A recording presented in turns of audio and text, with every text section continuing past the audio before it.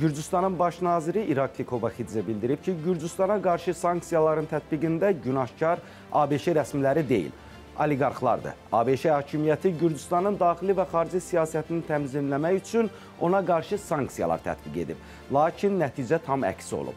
Həmin gün Tiflisdə eyni cinsi münasibətlərə qarşı yönəlmiş qanun layihələri paketi qəbul edilib.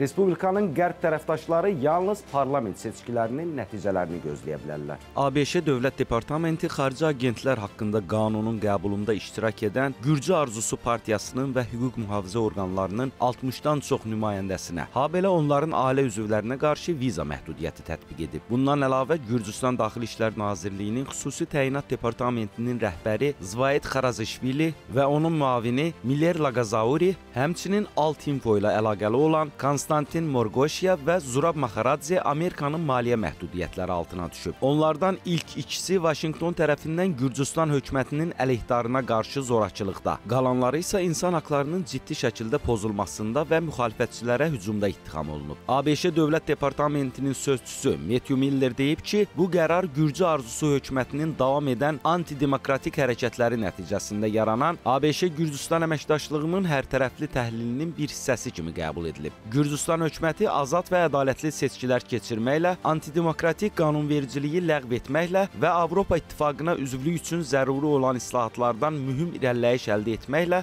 Avroatlantik yola qayıda bilər. Diplomat yekunlaşdırıb. Gürcüstanın baş naziri İrakli Kobaxidze isə deyib ki, vəziyyətin belə alınmasında günahkar dövlət departamenti deyil.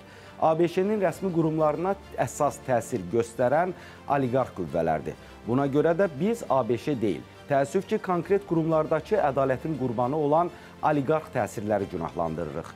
Gürcüstan hökumətinin başçısı izah edib.